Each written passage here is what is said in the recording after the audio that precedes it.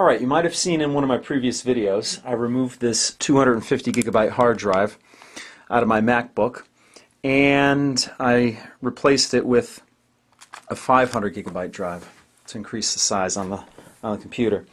What I'm going to do with this drive is I'm going to put it in an enclosure and use it as a backup drive.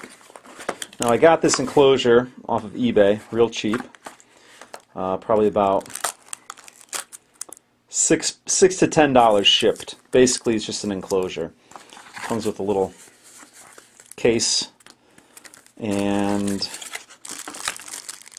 USB cord, and of course, screwdriver and screws to mount the drive. So let's put all this to the side and put this together. Now we're just going to open this up. Slide that out. What you want to do with this is open up both sides of this black case.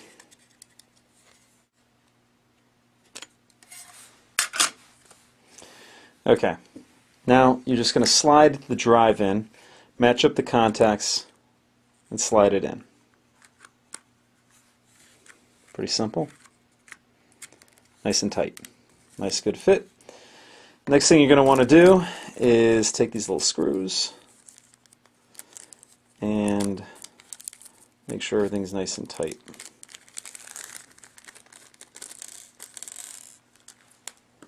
Take the, take the included screwdriver here, turn this over, and put the screws in.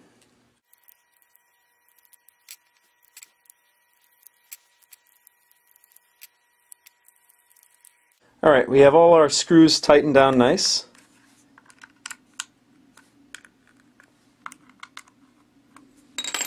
And now you just want to assemble everything back together again.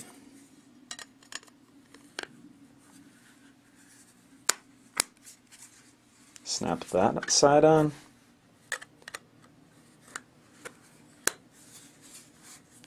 Snap that side on. And you're good to go. 250 gigabyte external hard drive. All you have to do is hook it up to the computer, reformat it, and you're ready to go. And if you want, you can use this little sleeve that it came with and slide it in to protect it when you're not using it. Hope this was helpful. I'll see you next time.